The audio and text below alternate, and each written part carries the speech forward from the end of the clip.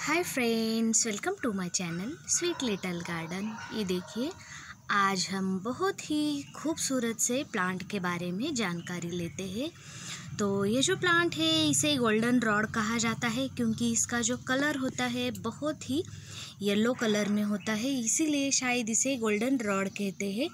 ये प्लांट जो है सेंट्रल अमेरिका का नेटिव है, और हमारे इंडिया में तो ये बहुत ही अच्छी तरीके से चल जाता है।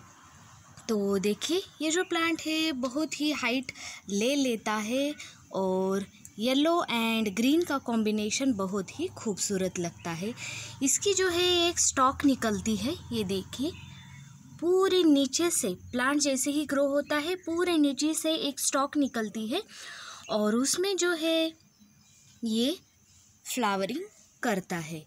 ये देखिए, ये जो प्लांट है कई ढेर सारे फ्लावर्स बनाता है। नियरली हज़ारों फ्लावर्स जो होते हैं, एक ही स्टिक पर होते हैं। ये देखिए, इसके ये छोटे छोटे से फ्लावर्स हैं और बहुत ही खूबसूरत लगने वाला ये जो प्लांट है, बहुत ही हार्डी और परमानेंट है। एक बार लगा देंगे तो बार बार ये चलता रहेगा सालों साल आपके गार्डन में। तो अगर इसके आप कोई भी स्टिक ले लेंगे इस तरीके से, जिसमें कुछ फ्लावर्स ब्लूम हुए हैं और जिसमें अभी कुछ ब्लूम नहीं हुए हैं तो इस तरीके की स्टिक अगर आप किसी वास में या फिर जो आप डेकोरेट करते हैं, वहाँ पर नीचे थोड़ा सा पानी डाल के या फिर जो वेट फोम शीट होता है फ्लोरल शीट होता है फ्लोरल शीट में अगर इसको लगा देंगे तो ये फ्लावर जो है, आखिरी तक फ्लावर इसमें खिलते ही रहते हैं। मतलब शुरू शुरू में ये प्लांट पर भी फ्लावरिंग करता है। अगर आप इसे तोड़कर किसी वास्ट में भी लगाते हैं तो फिर भी ये जो ब्लूमिंग है दोस्तों, इसमें चलती ही रहती है। इसकी पत्तियाँ भी इस तरीके से नोकेली होती है और ढेर सारे जो है इसमें बेबी पप्स निकलते हैं। जैसे क्रिसेंथेमम में निकलते हैं, बिल्कुल उसी की तरह ही ये इसमें ढेर सारे पप्स निकलते हैं। और ये जो प्लांट है, ये एस्टरिसी फैमिली से बिलोंग करता है। जैसे क्रिसेंथेमम जरबेरा डेजीज़ वगैरह होते हैं, उसी फैमिली से ये प्लांट बिलोंग करता है। और एक ही स्टिक में हज़ारों फूल इसके खिलते हैं। अगर आप इसका एक भी प्लांट लगाते हैं दोस्तों, देखिए, एक भी प्लांट लगाते हैं तो इससे ढेर सारे फ्लावर्स बन जाते हैं। और एक बार ये फ्लावर्स जब आपके गार्डन में आ जाते हैं तो आपके गार्डन में देखिए दोस्तों, बाहर सी आती है, बिल्कुल खूबसूरत। ये देखिए, रात में जो है बहुत सारी बारिश हुई है, उसी के वजह से ये इनकी स्टिक जो है नीचे की ओर झुकने लगी है। ये देखिए, ढेर सारे फ्लावर्स जो है मेरे गार्डन में आज खिले हुए हैं। इसे आप वास्ट में भी सजा सकते हैं या फिर इसका बुके जो है बुके भी बनाकर आप लगा सकते हैं। एक बार लगा देंगे तो इसे जो है कोई ज़्यादा केयर की भी ज़रूरत नहीं होती है। ये जो प्लांट है दोस्तों, किसी भी टाइप के पॉट में चल जाता है, लेकिन जितना बड़ा पॉट आप इसको दे देंगे उतना बड़ा ये प्लांट होता जाएगा। मेरा जो ये प्लांट है, कम से कम नियरली सिक्सटीन इंच के जो पॉट है, उसमें मैंने लगा दिया है। कम से कम ये मेरे सात आठ तो पॉट होंगे, उसमें मैंने लगा दिया है। तो मैंने इतने बड़े पॉट में क्यों लगा दिया है? दोस्तों, इसके पीछे एक वजह है, जो मेरा पार्शली डिकम्पोज ये था।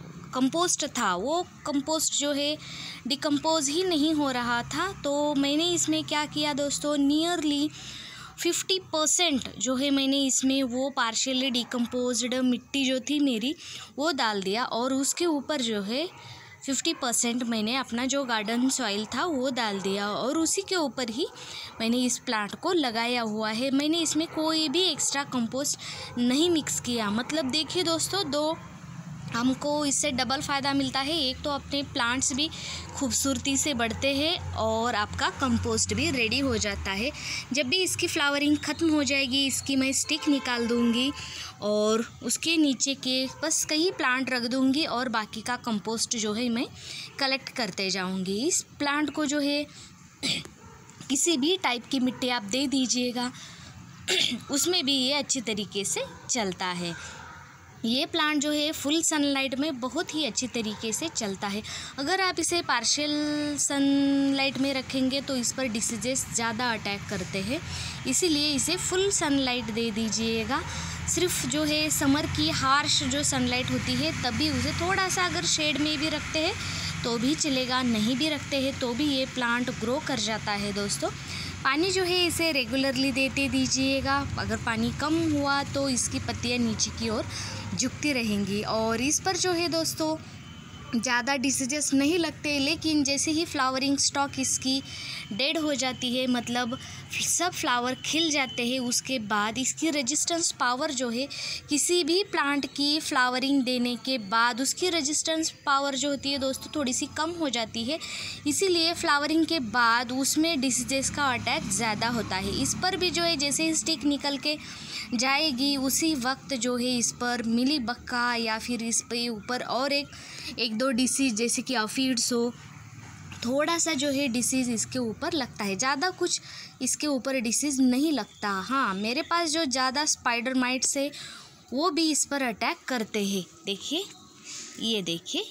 ये देखिए जो धूल जैसा दिख रहा है आपको, वो धूल नहीं है दोस्तों, वो स्पाइडर माइट का अटैक है। तो ये जो प्लांट है, बहुत ही खूबसूरत लगता है हार्डी परमानेंट के साथ वास्ट में भी आप इसे लगा सकते हैं। अगर इसका एक प्लांट आप ज़मीन में लगाते हैं तो बहुत ही अच्छा ग्रो होता है। लेकिन दोस्तों, इसका एक ड्रॉबैक भी है, अगर ये प्लांट आपने ज़मीन में लगा रखा हुआ है तो उसके ढेर सारे प्लांट्स बन जाते हैं और आपकी ज़मीन इसी जो है पूरी कवर कर लेता है, दूसरे प्लांट को ये बढ़ने नहीं देता। और चारों तरफ़ जो है दोस्तों, इसी के प्लांट लगते हैं। इसीलिए जो है कई लोग इसे पॉट में ही लगाना पसंद करते हैं। क्योंकि ज़मीन में लगा देंगे तो ये अननेसेसरीली जो है बहुत ही बड़ा हो जाएगा और बहुत ही पप्स निकालता जाएगा। तो आपके लिए जगह दूसरे प्लांट्स लगाने के लिए कम पड़ जाएगी, इसीलिए इसे पॉट में लगाइएगा। मेरी तरह इसके नीचे डिकम्पोज पार्शली डिकम्पोज अगर आप खाद डाल देंगे तो ये मतलब खाद भी तैयार हो जाएगी आपकी और प्लांट भी बढ़ता रहेगा। हर साल जो है दोस्तों, कई सारे फ्लावर्स लगाते जाइएगा। अगर आपको विंटर में पॉट की कमी होती है तो कुछ एक प्लांट जो है, इसके आप रिड्यूस भी कर सकते हैं, कम कर कीजिएगा और एक दो प्लांट रख के फिर से मानसून में इसको लगा दीजिएगा। ये जो प्लांट है नियरली फरवरी से लेकर अक्टूबर, नवंबर तक भी ये फ्लावरिंग करता रहता है। इवन ये प्लांट हमारे यहाँ तो दिसंबर और जनवरी में भी कहीं कभी कभार जो है फ्लावरिंग करता ही रहता है। विंटर का इसके ऊपर हमारे यहाँ तो ज़्यादा असर नहीं होता, लेकिन जहाँ पे ठंडी जगह है, वहाँ पर ये विंटर में इतनी अच्छी तरीके से फ्लावरिंग नहीं करता। ये जो प्लांट है, एक बार स्टिक निकालने के बाद फिर से उसी प्लांट में स्टिक नहीं निकलती। उसी के साइड से ढेर सारे पप्स निकलते हैं, फिर से जैसे कि डेजी में होता है, एक बार स्टिक जाने के बाद उसके पप्स निकलते हैं और पप्स में ही जो है स्टिक आ जाती है और एक से जो है मल्टीप्लाई बहुत सारे बन जाते हैं। कई साल पहले मतलब दो चार साल पहले तो मैं ऑनलाइन भी सेल करती थी दोस्तों, लेकिन अब जो है टाइम की कमी है जॉब भी है, इसलिए मुझे उतना जो है प्लांट सेल करना जो है अब पॉसिबल नहीं हो रहा है। लेकिन मेरे लोकल एरिया में जो लोग रहते हैं, वो मेरे प्लांट मेरे पास के प्लांट ज़रूर परचेस करते हैं दोस्तों। अगर आपको किसी को अगर प्लांट्स चाहिए तो मुझे ज़रूर बता दीजिएगा। मैं कोशिश करूँगी कि आपको प्लांट जो है मैं सेल कर सकूँ। तो थैंक यू दोस्तों। अगर मेरा वीडियो पसंद आए तो लाइक कीजिएगा शेयर कीजिएगा और सब्सक्राइब करके बेल बटन दबाना मत भूलिएगा। थैंक यू दोस्तों।